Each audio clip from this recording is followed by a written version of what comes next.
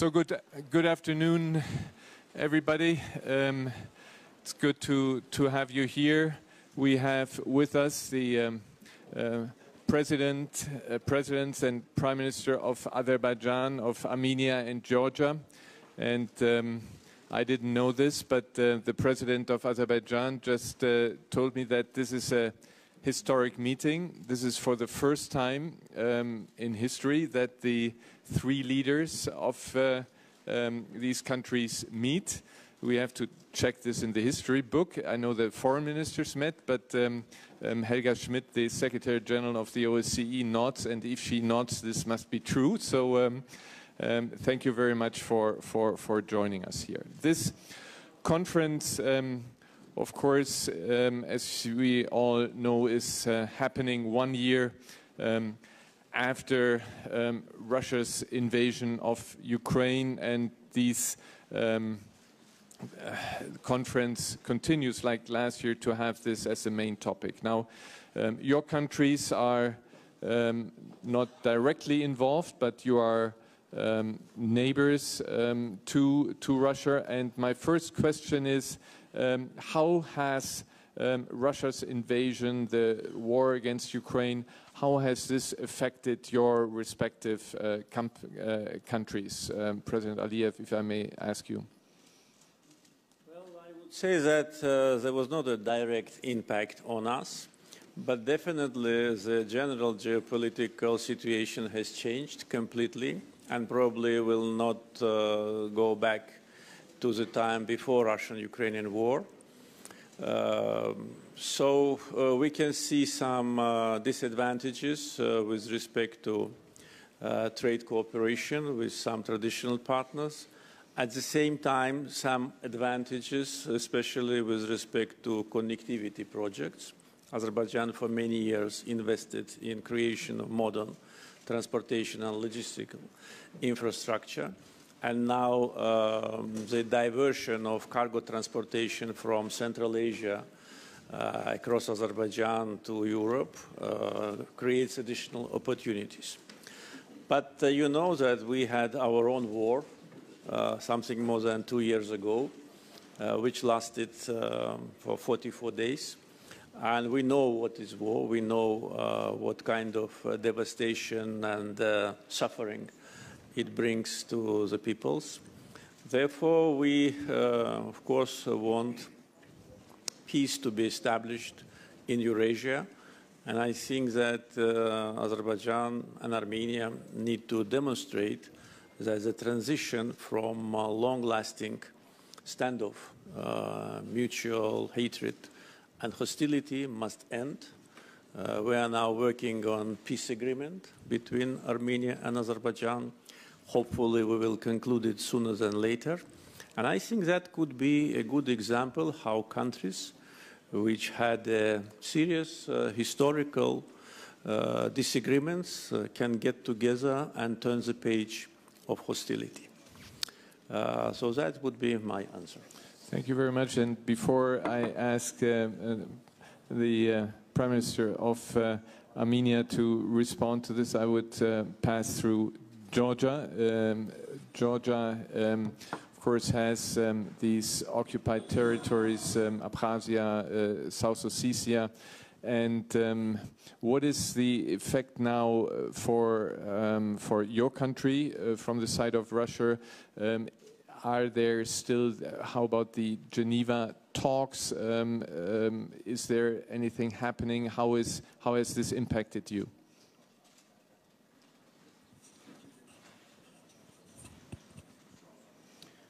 Thank you very much. First of all, thank you for organizing this panel discussion. I think this is very good initiative and historic meeting, as you mentioned, when the three leaders of the South Caucasus get together, and, and I think this is a great, already successful uh, meeting, and thank you for uh, organizing this uh, discussion. Uh, when it comes to the war in Ukraine, of course, this is a big challenge for all of us. Since World War II, I think Europe and the world in general has not experienced such a big challenge. You know that to, uh, in 2008 we had a war with Russia, and since then uh, Russia occupies our historic territories, Abkhazia and South Ossetia. Uh, Russia has uh, two military bases on our territory. And since then, we have been facing lots of problems, challenges. But after we came to power in 2012, we have made lots of efforts in order to de-escalate the tension. De-escalate tension, and at the same time, of course, we have been uh, very active on our European integration path. Georgia signed uh, association agreement, uh, deep and comprehensive free trade agreement with the European Union. We got the visa-free regime, and last year this was a historic decision when the European Council de decided to give us European perspective. So to respond to your question, how the war in Ukraine affects all of us in Georgia, right now we all see that Russia is focused on Ukraine. It's a devastating war, and I have to say that we must do everything in order to stop this war. There is no alternative to peace, and um, I have to tell you that um, Georgia has been pursuing a peaceful resolution policy when it comes to the restoration of sovereignty and territorial integrity of our country. We have made it very clear that Georgia has a peaceful plan to restore its territorial integrity. I want to thank the OSCE, EU, US, um, and other participants who have been actively involved in the mediation process. You mentioned, Mr. Heusgen, uh, Geneva international discussions. This is the only platform that we have right now with the Russians. And um, so therefore, I must repeat again that this war must be stopped. We have seen this war and the, the effects of this war in our country in 2008. And lots of, lot of people died and we lost control on our territories completely. And as I said, Russia has military bases on our territory, and it's ongoing. It's, it doesn't stop. I also want to mention that um, since 2008 war, we haven't seen any sanctions that were imposed on Russia. On the contrary, we saw that business continued as usual. Therefore, it was a very, let's say, bad signal. To conclude, I think uh, the international community now must uh, decide how we, move, how we move forward. Because if this war continues, it means uh, more devastation, uh, more killings of civilians. So therefore, once again, I want to repeat that our intention, our, our main, let's say, goal has to be to stop this war. Yes, um, I think you are absolutely right. This, the, the, the killing has to stop. Um, but let me just briefly come back to your, to your country. You mentioned 2008, and uh, um, I was at the time uh, advisor to the, to the chancellor, and um, it was a, a, very, very difficult situation where we don't have to go into detail. But um, going back to 2008, may I ask you, at that time, we, had, um, we dealt with President Saakashvili, and um, we have seen alarming pictures, photos of President Saakashvili in, in a very um, uh, delicate situation, and um, people are afraid for his life, and there's also a journalist um, who is in a different situation. I have the impression your country, that what is called in times of, uh, in harsh times, in times where you have a war in the region, uh, that it called for a national unity. And uh, is this something, uh, there is something where from the outside one has doubt that this is happening in, in your country and uh, um, as I said, President Saakashvili was a host, uh, was a guest very often here at the Munich Security Conference, and as I said, these alarming pictures there, isn't, isn't there not a possibility so that he can get out and get some uh, treatment in, in, in hospitals um, outside Georgia? Well, first of all, thank you for this question. I don't want to talk about and speculate about the health of uh, President Saakashvili, who is now in a private hospital. I want the people to know that he arrived in Georgia. He came back in Georgia two years ago, actually more than a year and a, and a half ago, October 1st, to be more precise. The idea of his comeback was to make another revolution in Georgia, to organize mass killings and bloodshed, he failed and he ended up in jail. So he requested that we transfer him in private hospital. I don't want to bother the audience about the details, but since you asked this publicly, I have to respond. So he has been in the private hospital for more than eight months, and the Georgian government has been providing maximum support, maximum comfort, all the privileges that other prisoners are not receiving. Uh, you mentioned the pictures and photos. I want to say that uh, Mr. Saakashvili is a good actor. Georgian government has, has been doing everything we can, the maximum support. Again, I want to repeat. We even made uh, uh, proposal, offer to his family to bring any doctors from any hospital or, or from any country to provide medical, in case he needs medical support uh, in Georgia. So this is my answer. And I also want to mention that um, uh, probably you have seen uh, lots of uh, fake news, disinformation that has been uh, spreading by the uh, lobbying firms of Mr. Saakashvili and his family. for example, I want to give you just a fact. Last month, it was uh, disclosed that his family officially paid $1 million uh, to launch an aggressive media campaign all around the world. So what you hear, what you see on the videos or uh, on Facebook or social network does not actually describe the reality. So therefore, uh, no one stands above the, above the law. We are building a strong democracy in Georgia. We are building, strengthening democratic institutions. This is the understanding of, uh, of democracy, I guess, that no one should be above the law. Saakashvili committed grave crimes, such as the killings of uh, former banker Girgvliani. This was a famous case. Uh, beating up to death uh, former member of parliament, uh, and uh, many other cases, seizure of private TV channel Imedi, for example. Plus, he added another crime, which is the crossing illegally state border. Uh, by the way, for your information, he spent uh, two days in a container truck, refrigerator, when took a uh, ferry boat from Ukraine, from Odessa, to come back to Georgia to do revolution. So this is the story. I didn't want to talk about this uh, individual uh, here at this panel to bother you all the details, but since you asked, Mr. Mr. Heusgen, I want to respond about this. Yeah, I don't you. want to deepen into it, just a humanitarian appeal I would like to, to launch there. Um, Prime Minister Pashinyan, um, coming back to the question I asked at the, at the outside also to um, uh, President Aliyev, the repercussions of uh, um, the war of Russia against Ukraine on, on your country. Thank you. Uh, uh, I also would like to express my gratitude to you and for organizing such a format. And um, uh, really, um, um, I agree. Maybe uh, it is historic uh, meeting, uh, but it's very important to identify the content of the history that now is being created, because we can have different, um, different uh, outcome, consequences or results, and I think we need to be result-oriented, and that is uh, our approach. And as far as your question is concerned, you know, uh, global instability can make um, things in our region better.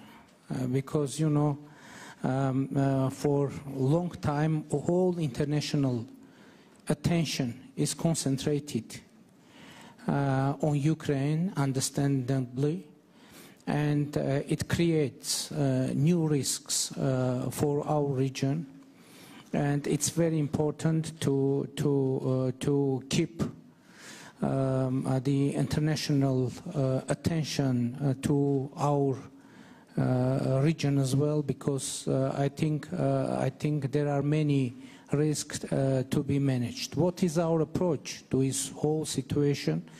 we um, stayed devoted to our democratic reform agenda because we believe that democratic reforms the uh, development of democratic institutions, rule of law, human rights, um, independent judiciary, etc., uh, would make uh, would make uh, the um, overall situation in our region better, and uh, uh, we think that it is a benefit for whole region for us to uh, do part of the, the, our part of the job.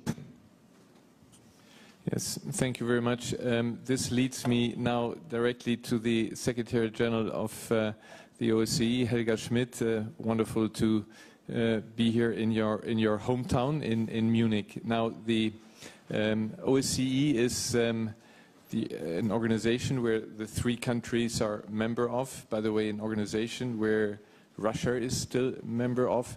What can the OSCE at this stage do to help also um, um, cooperation between the countries to help to stabilize, to have the instruments that the OSCE has at its disposal at a different, at a difficult time for your organization, but what can you do to, um, to try to um, um, lower tensions and, and promote cooperation?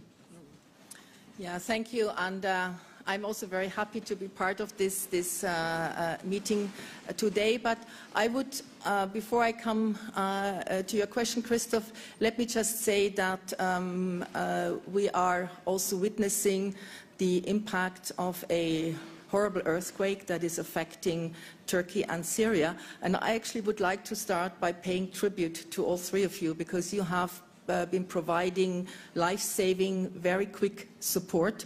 And I know, um, particularly, I want to pay tribute to you, Prime Minister Pashinyan. And I know your foreign minister uh, was in uh, Turkey, I think only a couple of days ago, meeting with his uh, uh Turkish counterpart. And in the face of this tragedy, uh, we actually may find a way uh, to, to work together. and, and, and I think this is, this is very important. But now, the, um, there may be no maybe direct impact, as you said, uh, President, uh, when it comes to the, the war against Ukraine. But we know for sure is that there is really a very strong feeling of uh, insecurity in the wider Black Sea uh, region.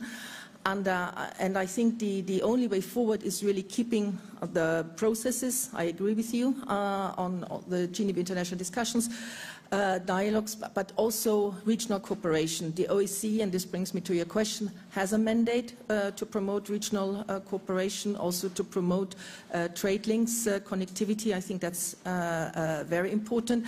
Now, it's very difficult uh, to build uh, sustainable peace, uh, reconciliation. There are outstanding issues that need to be addressed related to the border, missing people, detainees, also mines.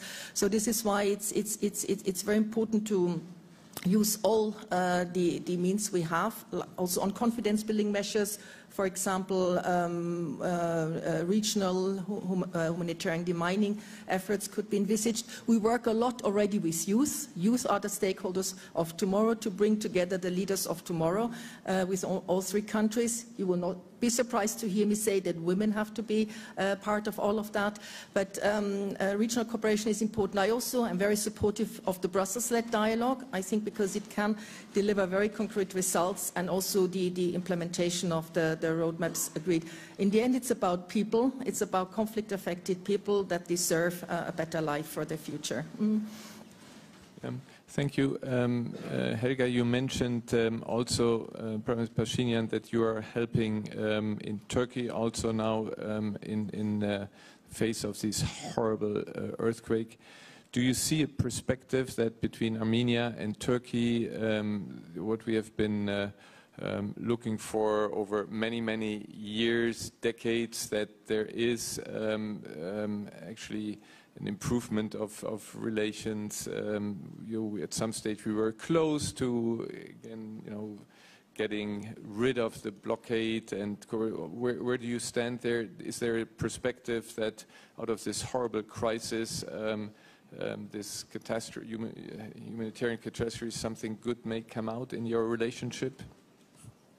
Thank you. Uh, thank you. You know, uh, um, um um, deciding to, to send uh, humanitarian um, aid and uh, um, rescuers to Turkey, uh, we had um, uh, humanitarian motivations only uh, because, uh, because millions of people suffered next to us. And, uh, but uh, in the process, we see uh, quite positive reaction from the Turkish government. And if this step will have political results as well, it's better.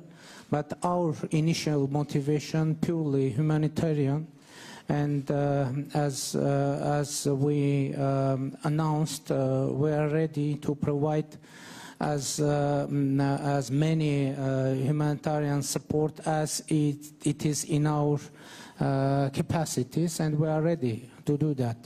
As uh, far as political dialogue is concerned, to be honest, uh, the before earthquake, uh, we we had political dialogue through the special envoys. And I believe that uh, uh, uh, in reality, this dialogue was very important. I mean, in the creating atmosphere where where these decisions were made, and I believe that um, through this humanitarian uh, um, uh, conversation and communication, maybe maybe the opportunities for concrete uh, political uh, decisions uh, will will be higher. Especially, Minister, yeah, you mentioned visited Turkey and the some some um, political arrangement were mentioned there and we are ready to go forward because we believe that really uh, Uh, the uh, uh, uh, the um, um uh, establishment of diplomatic relations with Turkey and the opening of our border would would be very positive, not only in terms of the our regional situation, but for international situation as well. Yeah, let's hope that this comes out. We had originally um, the Turkish Foreign Minister Çavuşoğlu wanted to come here, but um, of course, uh, due to the situation in um, in the country, he had to stay stay home. But um, let's hope that this will lead to something because um, this was this this border was closed for far too long, and we have to come also to improvement for the um, relations there. Now, let me come to the elephant in the room, if you um, allow me. This is, of course, the, the question that President Aliyev um, um, alluded to at the very beginning, the um, war um, that started, is it two years ago already? And um, we see a, a, a, situation which is still very critical. we are not here to do any negotiations, but um, of course we are, um, when you look at it, the outside, the international community, we are concerned about the um, uh, humanitarian situation. And um, one looks always, as we have been looking right now with regard to humanitarian aid to Turkey, we are looking at humanitarian steps. We see the Lachin corridor that is um, seen from the outside blocked. And uh, we, we um, wonder, and, and maybe, um, uh, Prime Minister, you can tell us a bit about um, maybe efforts to have some confidence building um, measures there to see that somehow the situation uh, improves and um, um, we would, of course, all, and afterwards I would like to turn to President Aliyev again, we would, of course, like to see that through some small steps we come to a de-escalation and come closer to a resolution of this conflict. Thank you. Uh, uh, you're right. Uh, it's already uh, uh, seven, 70 days that the Lachin corridor is blocked and now unfortunately we have a humanitarian crisis in Nagorno-Karabakh and energetic crisis as well. Uh, because uh, because uh, electricity electricity supplies to Nagorno-Karabakh have been shut down. And uh, the gas supplies as well uh, have been shut down. And we uh, we counted and during the last 70 days the gas supplies were cut at least 10 times and it is the uh, problem that should be addressed. And uh, our position is that uh, in the trilateral statement from the 9 November 2020, we have uh, very uh, precise provisions connected with uh, Lachin corridor and according to that statement it is the Uh, obligation of the uh, Azerbaijan and uh, uh, Russian peacekeepers to, uh, to keep uh, Lachin corridor operable. But now, unfortunately, we have a totally different situation. And I meant Lachin corridor as well, saying that international attention should be kept on this situation because we are afraid that continuation of, uh, of uh, this situation uh, can cause unturnable humanitarian consequences for Armenians in Nagorno-Karabakh.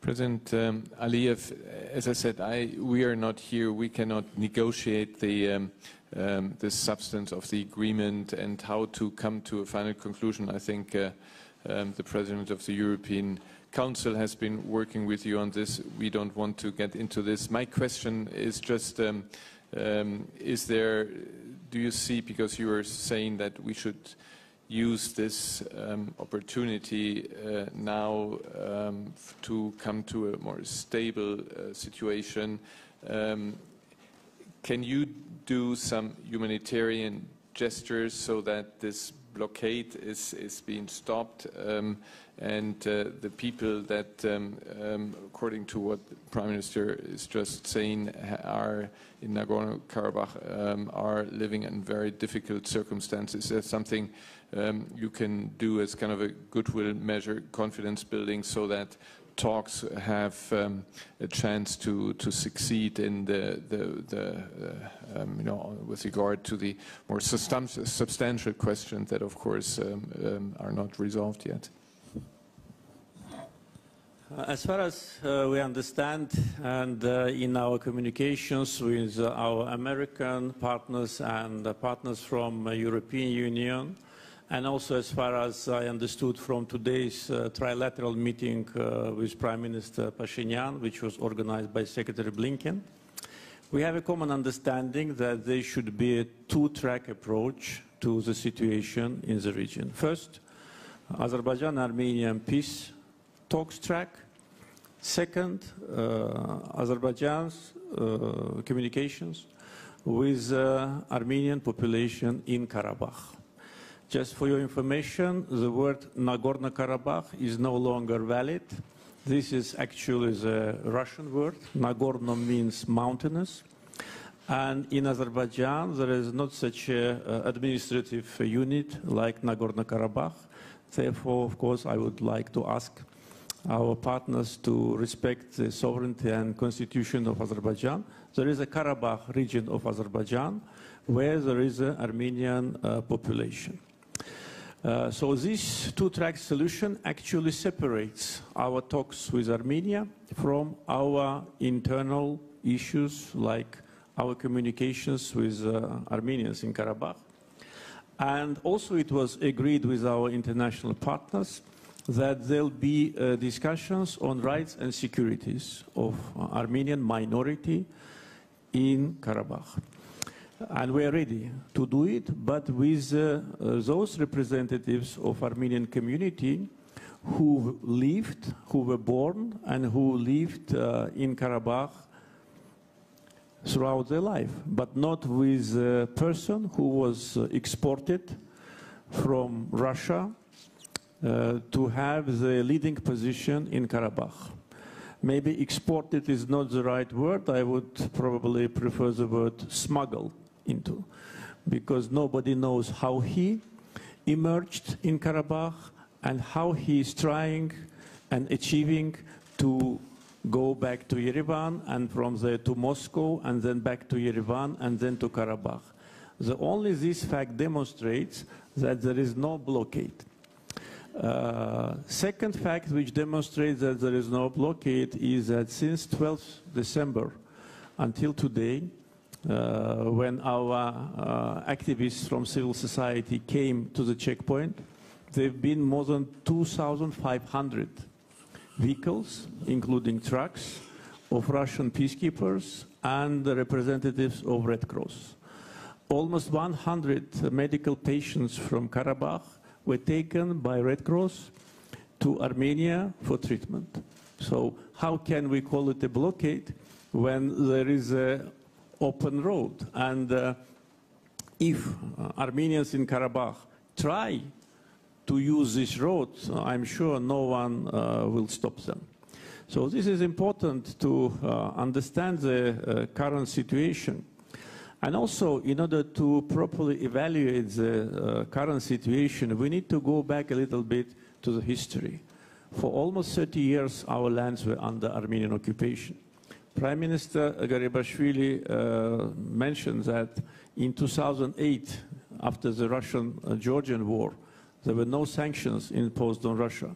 But I also can say that Armenia occupied 20% of Azerbaijan's territory violated international law, did not comply with UN Security Council resolutions for 27 years, and no sanctions were imposed on them.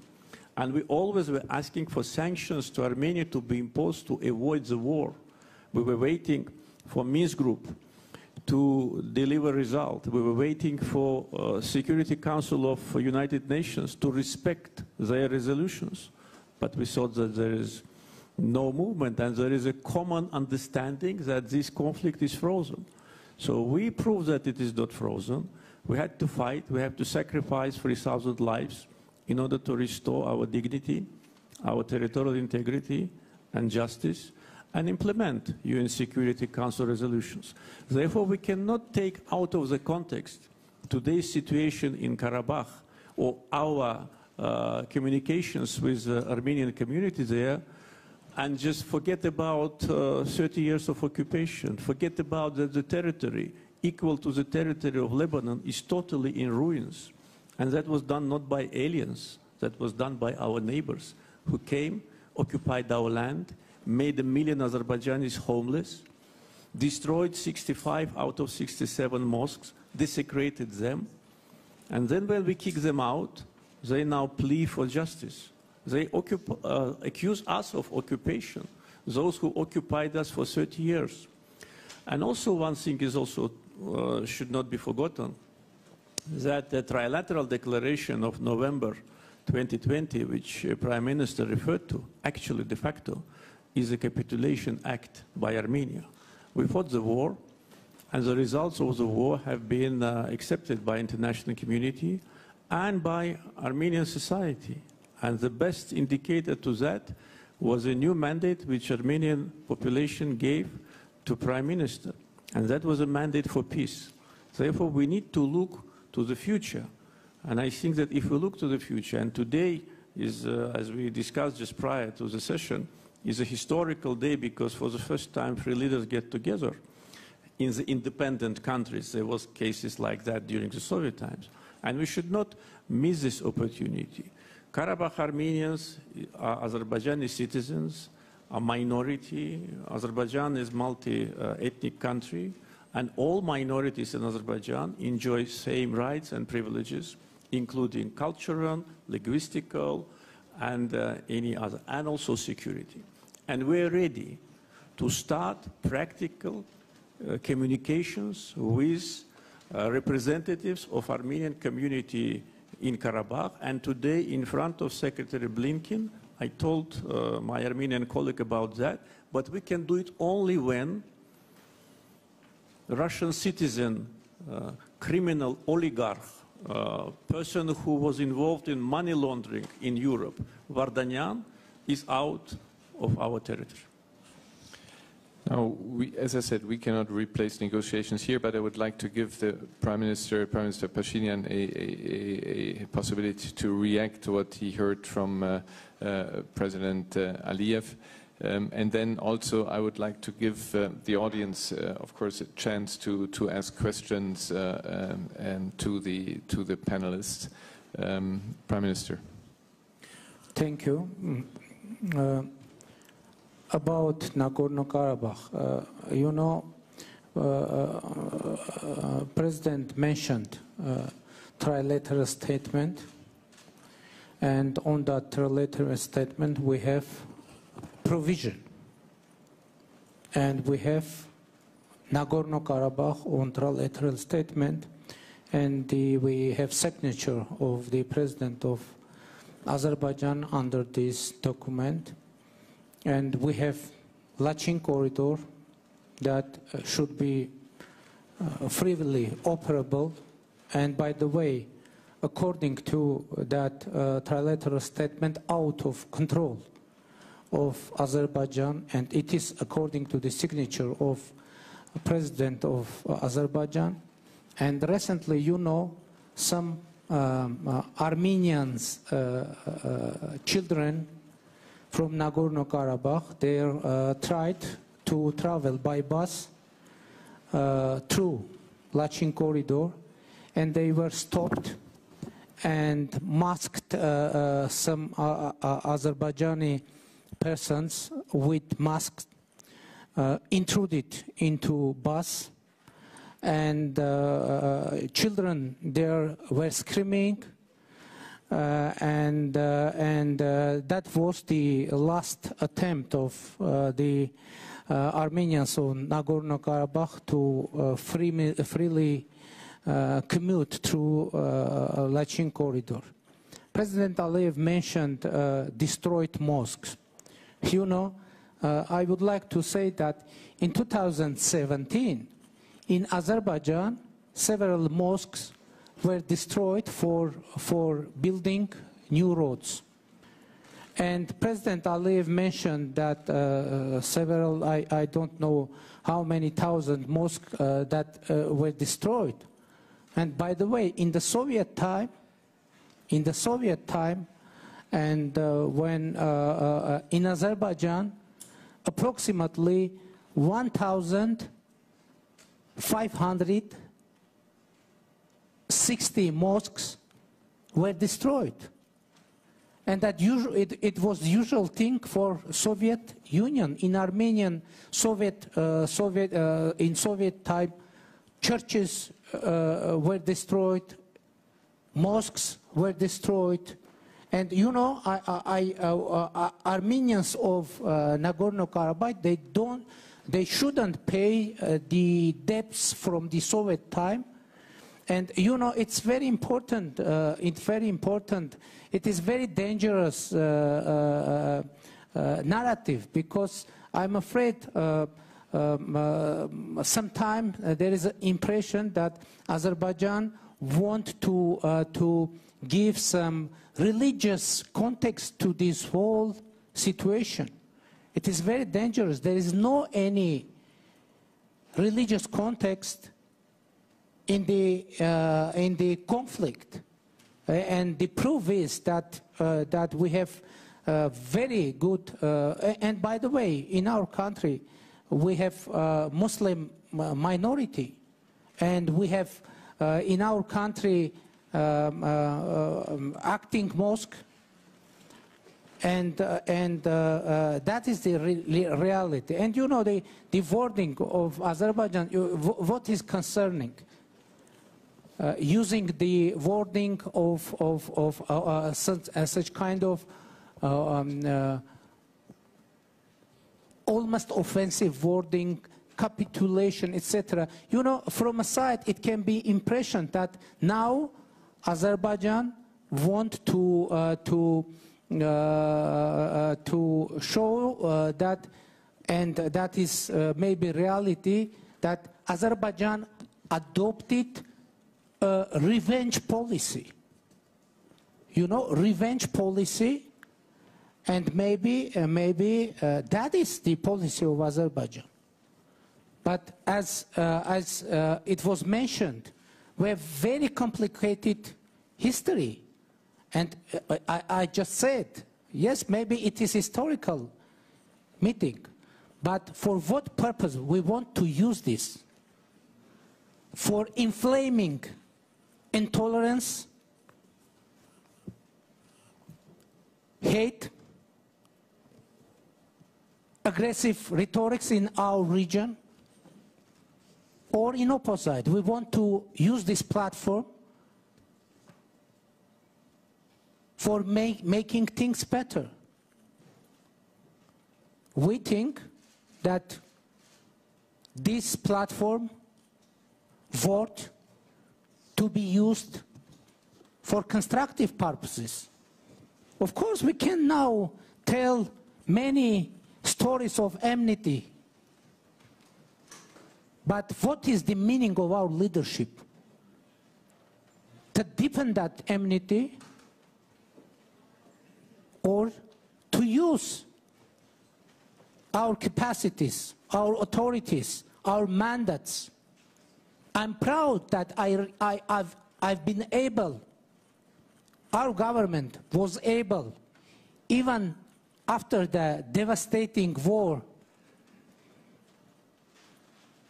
to have free democratic elections in our country that was worldwide acknowledged as free, democratic, and, uh, uh, and, and, uh, and transparent and competitive.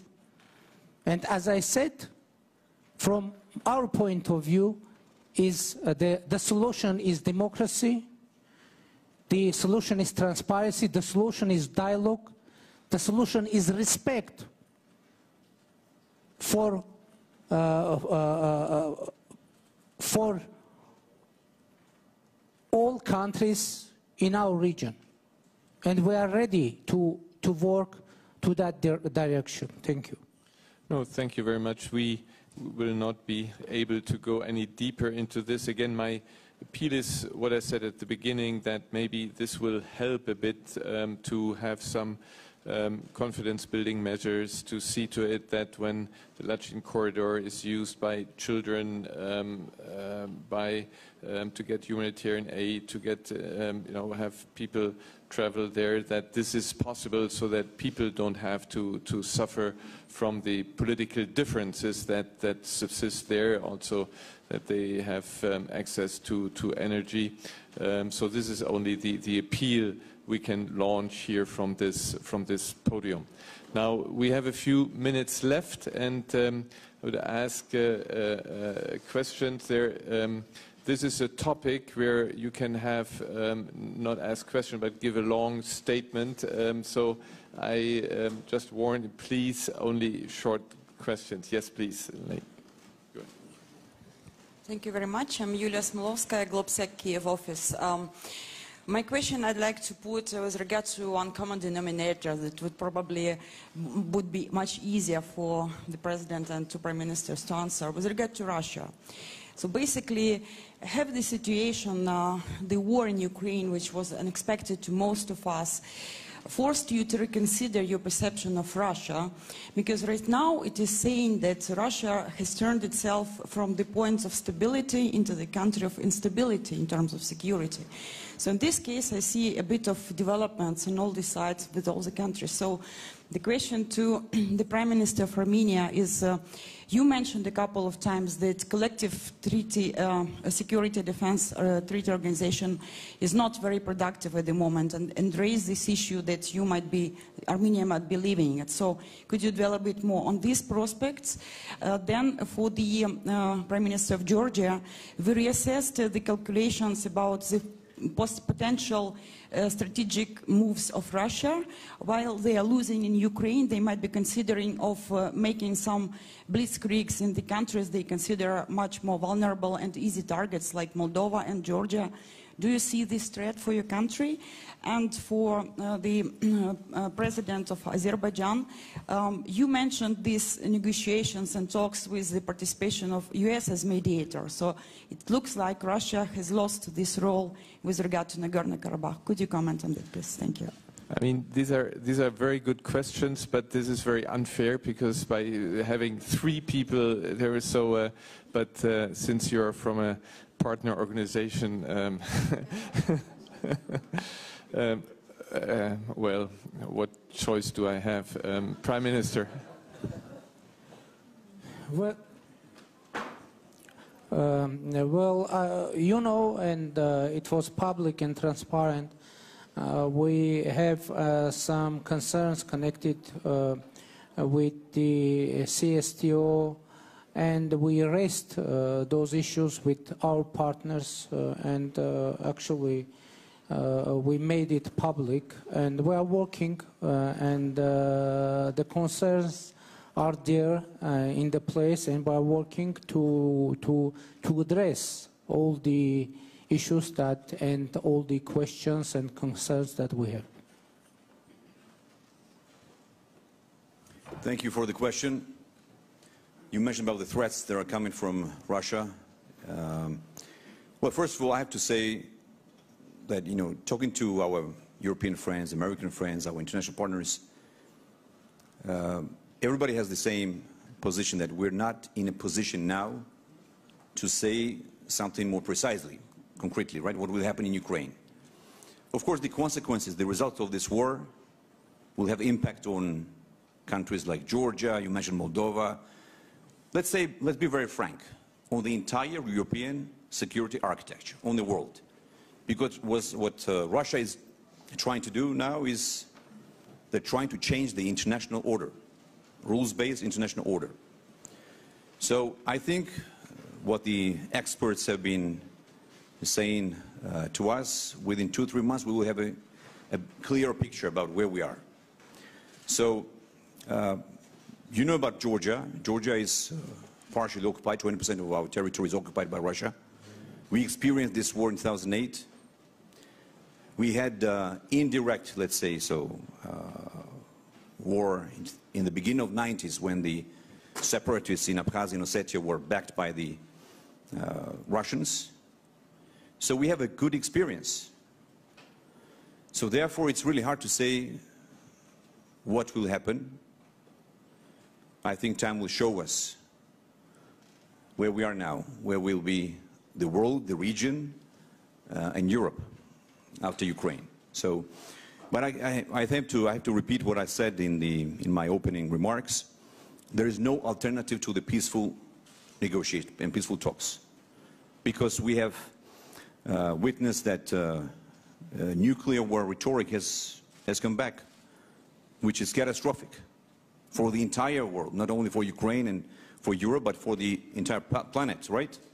So therefore, we must expect that big players such as United States, uh, China, Russia, European Union,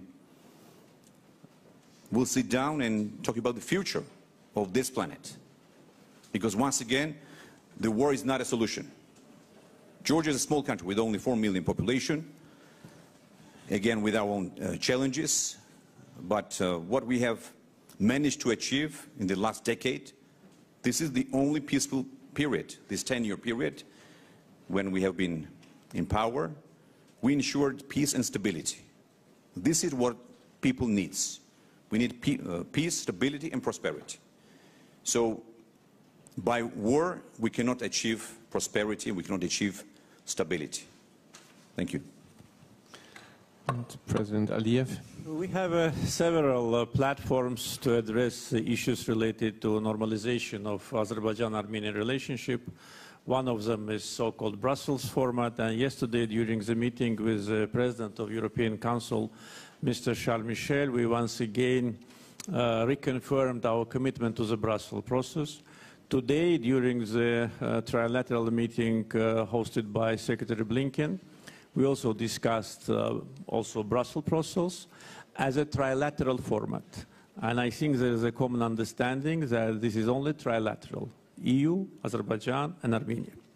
There is certain legacy from the so-called former Minsk group, which uh, already retired and actually do not exist, maybe exist only on the paper.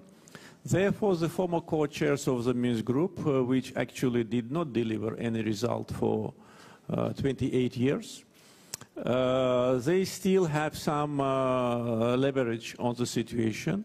Therefore, we have a platform which is hosted by United States, by Russia, and now by uh, European Union, but no longer by France, because of one-sided uh, pro-Armenian position of the French government. And it is clear that when you are mediator, you cannot take sides and you cannot demonstrate that you uh, take sides. So this, I think, is the answer to your question. And uh, above um, of that, I want to say that whoever will help both countries to come to an agreement, of course, will uh, have the champion's uh, medal. But with respect to the um, peace talks, you know, we can understand this position, but uh, judging from our experience, I can tell you that peace talks sometimes last too long. We had peace talks for 28 years. Can you imagine, from 1992 until 2020? And if we did not uh, resolve Karabakh conflict on the battlefield, these peace talks would have continued for 28 years more. It was absolutely acceptable to Armenia because they wanted to seal the situation, to keep our lands under occupation forever. It was acceptable for Armenian friends in different parts of the world, but it was not acceptable to us. And we were preparing. We were mobilizing our efforts. We were growing new generation, growing new generation which came and liberated the lands which they have never seen uh, because they were young, as they were not even born when uh, Armenia occupied our land. Therefore, peace talks, yes, I am not against, but you have to restore justice by force, and this is your legitimate right. This is right given to you by Chapter 51 of uh, United Nations, and we use that right, and we fought on our territory. Our war was war of uh, liberation, and that's why it was a just war. Our war was not a war of occupation. And that's why we didn't have a single one from our army who left the battlefield.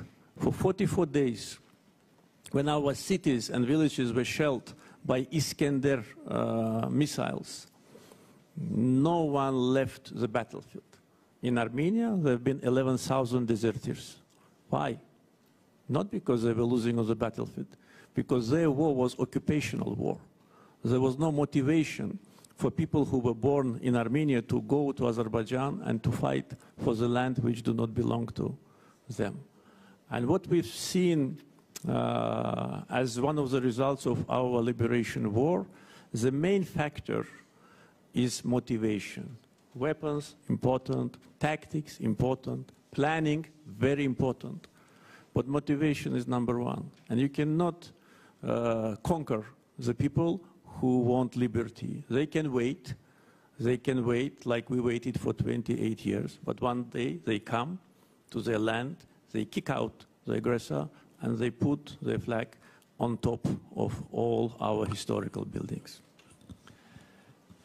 Well, thank you very much for participating in this forum. Um, we did not have, of course, the expectation that uh, we would uh, solve the issues um, that um, are unresolved until now. My appeal again to all of you, to all three of you, to look at humanitarian gestures that you can do um, to um, um, improve the, the situation of people independent then of, um, with regard to Armenia and Azerbaijan, of these talks. And I hope that these talks under the auspices of the European Union will, will yield a, a lasting success. And then I propose that um, in a year from now we meet here again and see where we stand. So thank you very much for participating and thank you very much uh, Helga, for continuing to work on the one way forward, confidence building measures, OSCE measures where you can work together. So thank you very much.